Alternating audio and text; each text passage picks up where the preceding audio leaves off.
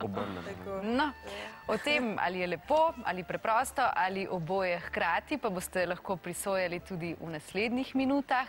Bistvo glasbe in druženja je, pravijo, ko skupini 30, 40 ali večjih uspe, da zazveni kot eno. In na vaji je Mateja Rosa obiskala tudi komorni zbor Ipavska.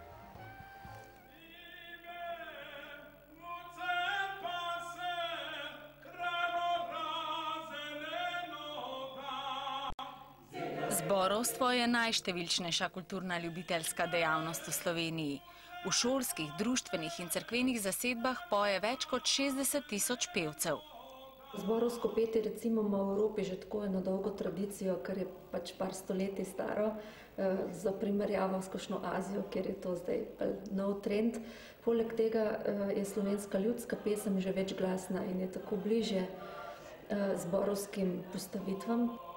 Zborovska glasba je bila po prvi svetovni vojni pomembna spremljava vseh večjih prireditev. Čeprav je kakovost zborovskega petja pri nas na visoki ravni, je danes odnos do te kulture mačehovski. Zborovstvo niso smučarski skoki, ker skoči 102 metra in to tako je. Um, lahko pa se naredi neka primerjava na podlagi tekmovanj, ki obstajajo v svetu in na teh zelo zahtevnih tekmovanjih sodelujo vedno tudi slovenski najboljši zbori in po podatkih zadnjih desetih let na približno 15 najtežjih tekmovanjih je Slovenija po številu eh, prebivalcev najuspešnejša država. Med najbolj uspešne zborovske zasedbe sodi tudi komorni zbori Pavska. Zbor Pavska deluje že 16 leto pod vodstvom eh, dirigenta Matjaža Ščeka. Pod njegovim vodstvom je zbor umetniško zrasel in dosegel tudi uspehe doma in v tujini. Združuje pevce celotne Vipavske doline. Vse skupaj nas pa predvsem druži veselje do petja in skupnega dela pod budno roko našega dirigenta. To je neka klasična oblika druženja, bolj, ne, bolj pristen pristop, ne, bližina človeška. Ne. E, dost je tudi takih članov, ki smo zaradi Ipavske ali pa posledično preko Ipavska, kakorkoli že, spoznali svoje sopotnike življenjske, ne. primer sem tudi jaz, e, primer to je bilo v Mariboru, smo bili na naši pesmi in potem po opravljanje dolžnosti je sledil družabni deli.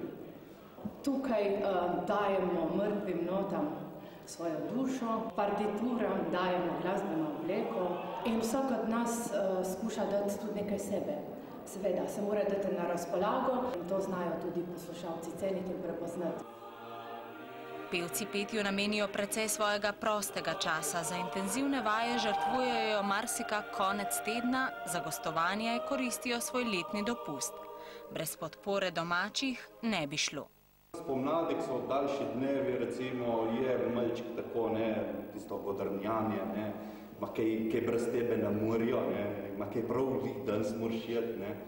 Je, sam se da vse skladic kompenzirati, ne, mislim, Komorni zbori Pavska se odlikuje po izvajanju glasbenih novitet, obsežen repertoar pa obsega zahtevnejše skladbe slovenskih in tujih skladateljev ter priredbe slovenskih ljudskih pesmi.